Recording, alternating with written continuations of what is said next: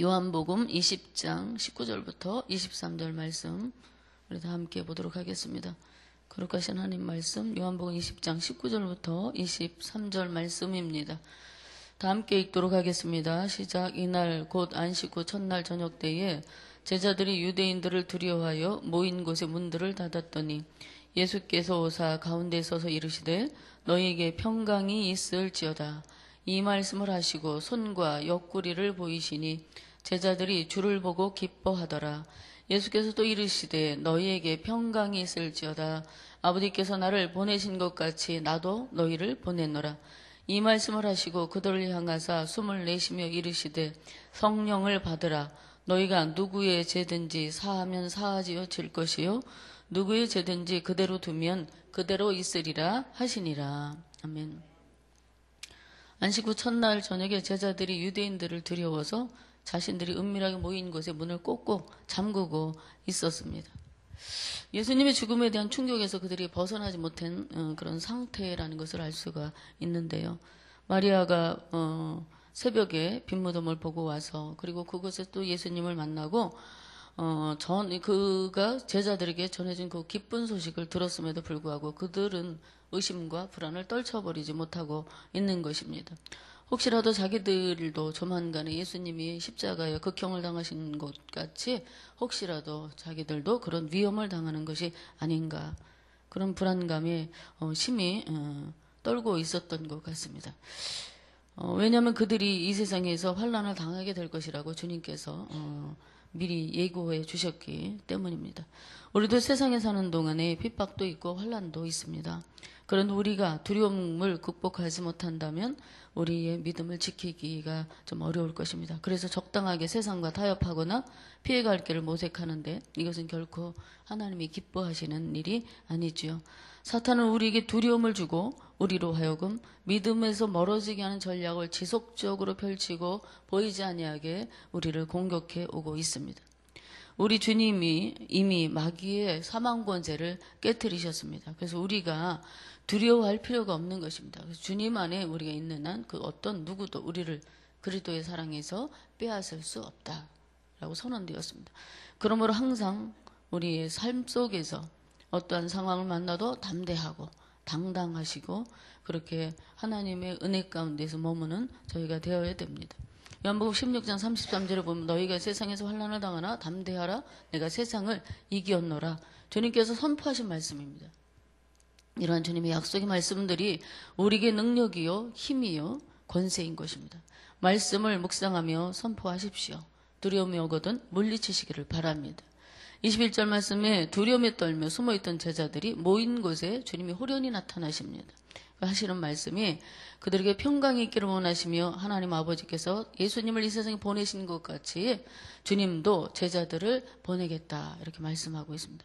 그들에게 또 사명을 주고 계신 것이죠. 이제 무엇을 해야 될지 어떻게 살아야 될지 앞으로 어떤 일이 벌어질지 몰라서 두렵고 막막하여 떠는 이 제자들에게 주님께서 찾아와 말씀하시는 것입니다. 이제 너희는 사명자라고 하시는 것입니다. 그들이 힘써 추구해야 될 일은 이제 주님의 명령을 따라서 그것을 수행해야 한다라는 것을 그들에게 알려주고 계시는 것이죠. 교회는 사람이 만든 세상의 다른 종교들과 모든 면에서 참 다릅니다. 전혀 다른 것입니다. 교회는 사람들이 자기들의 필요에 의해서 임으로, 임으로 세워진 것이 아니죠. 그리스도께서 자신을 위해 세우신 특별한 기관이 바로 교회입니다. 주님은 주님이 이루신 일을 널리 알리고 세상에 널리 알리고 고통과 슬픔과 절망 가운데 있는 이들에게 자유하게 하시고 자유하게 하시려고 어, 몸된 교회를 세우신 것입니다. 그렇기 때문에 우리 교회들은 언제든지 주님의 뜻을 전하며 주님의 손이 되고 발이 되어서 예수님의 역사를 행하시는 행하는 것을 주 목적으로 세워져 가야 하는 것이라고 생각합니다. 우리 주님이 교회 머리 되시고 우리는 몸의 지체로서 각기 맡겨진 사명을 감당하고 있습니다. 주님이 기뻐하시는 일에 그러므로 우리가 전심으로 힘을 써야 합니다. 여기 계신 분들과 우리의 자녀들이 그 중심에서 하나님의 몸된 교회를 세워나가며 아름답게 쓰임받는 그런 역사가 있기를 바랍니다. 그런데 우리 교회는 그러면 우리 교회도 주님이 주신 평강이 있어야 합니다. 아무리 우리가 많은 일을 행한다 해도 시끄럽거나 분열과 다툼이 있으면 안 되겠죠. 주의 일은 사랑으로 행해야 됩니다. 연합하여 평안 중에 감당해야 하는 것입니다.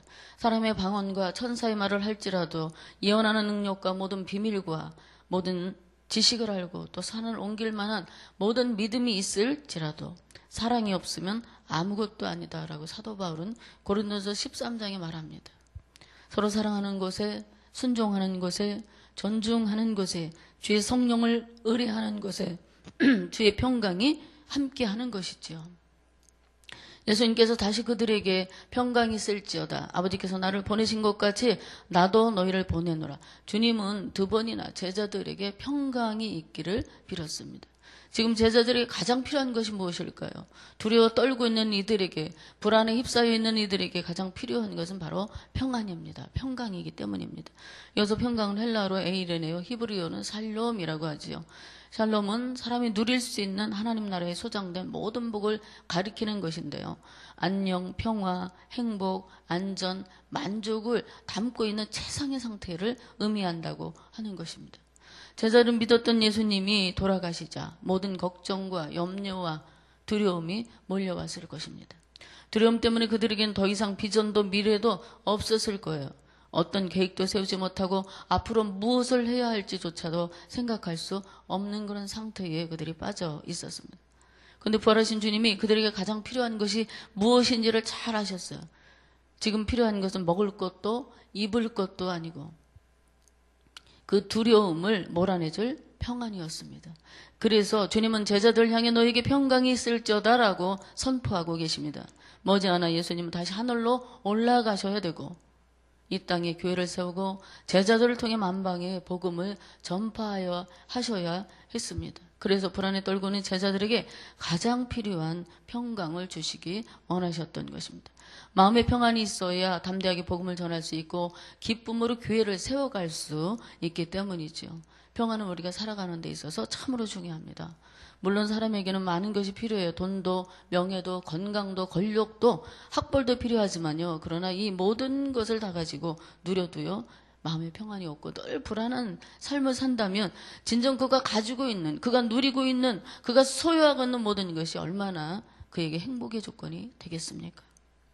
평안은 삶의 가장 근원적인 요소입니다. 평안이 행복을 가져다 주기 때문입니다. 세상이 가진 많은 조건들은 참 평안을 누릴 수가 없습니다. 진정한 평안은 영원의 평안입니다. 근데 사람들은 평안의 중요함을 잘 모르는 것 같습니다. 주님은 제자들에게 평강을 선포하시고 복음 전파를 위해 내가 너희를 보낸다라고 말씀하고 있어요.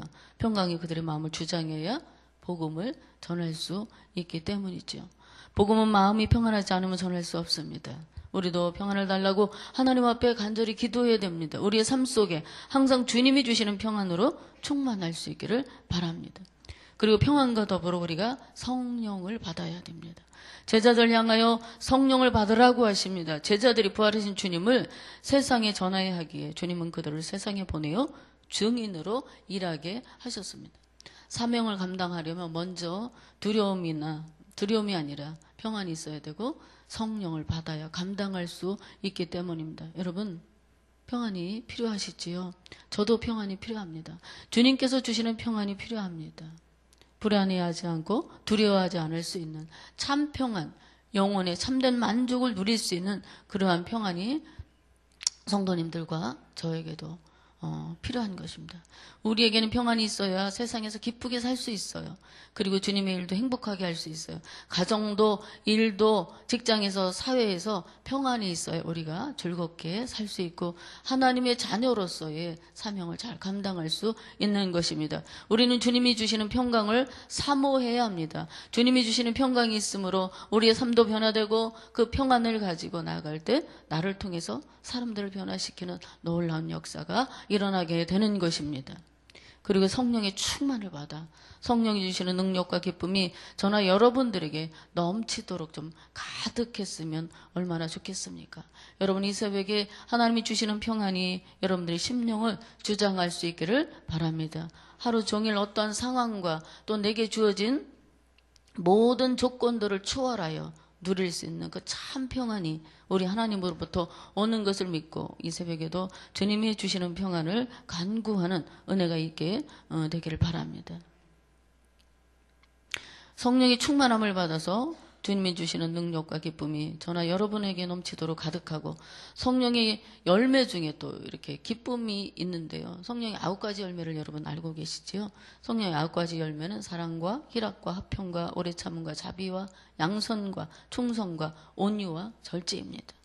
이런 성령의 아홉 가지 열매가 내 삶에 얼마나 어, 나를 주장하고 있는지 살펴볼 수 있으면 좋겠습니다. 이런 것을 금지할 법이 없다고 성경은 선언합니다. 세상에 채 살지 않고 어, 성령으로 충만을 받아서 참 행복한 그리스도인이 되는 저와 성도님 되기를 간절히 소망합니다. 우리 모두 성령의 충만을 주시고 기쁨을 충만하게 부어달라고 이 새벽에 함께 기도했으면 좋겠습니다. 우리가 믿고 기도하면 주님은 평강도 주시고 기쁨도 주시고 성령의 충만도 허락하여 주십니다.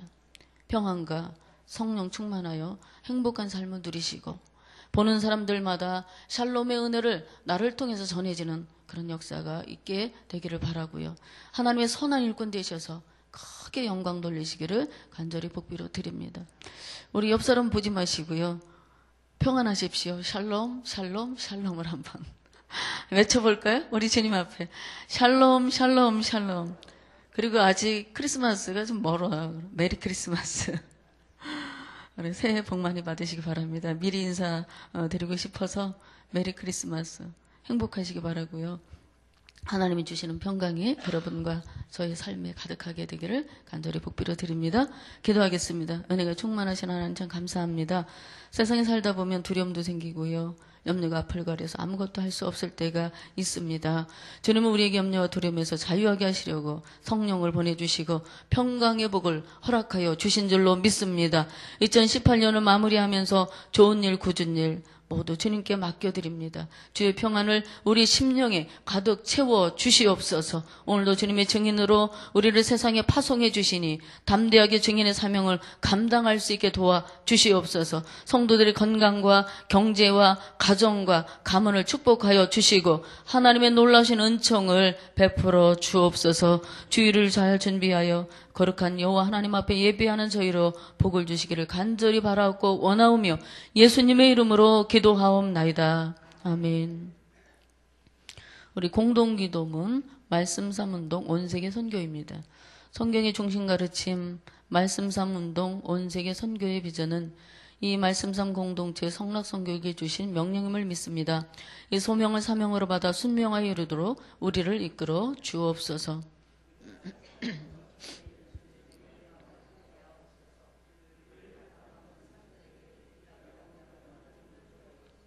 문제를 통찰하는 지혜와 한계를 넘어서는 용기를 주시며 하나님 나라를 위해 헌신하는 사람들을 보내주시어 거룩한 영적 봉을 함께 누리고 나누게 하옵소서. 아멘. 다 같이 주기도문 하시기 아, 주기도문 하시겠습니다. 하늘에 계신 우리 아버지, 아버지 이름을 거룩하게 하시며 아버지 나라가 오게 하시며 아버지 뜻이 하늘에서와 같이 땅에서도 이루어지게 하소서.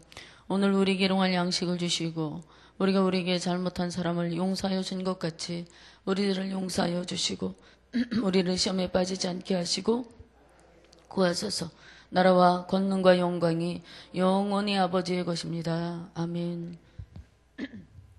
오늘 우리가 함께 들으실 공동 제목입니다. 지금 들은 말씀이 내 삶으로 이어지게 하옵소서. 주일 예배 가운데 복을 주시고 말씀을 준비하고 전하시는 담임 목사님에게 능력을 더하소서. 주일 예배 참여하는 성도들을 지켜주시고 예배를 통해 복을 누리게 하옵소서. 시애틀 린우드에 세워진 노고솔 라이프 교회 및 미션 센터를 축복하소서. 연말 사역이 은혜롭게 잘 진행되게 하옵소서. 교회 모든 봉사자들의 손길에 복을 더하시고 말씀에 든든히 서가는 교회 되게 하소서. 대학 입시 정시 모집을 진행하고 있는 자녀들의 앞길을 인도하소서.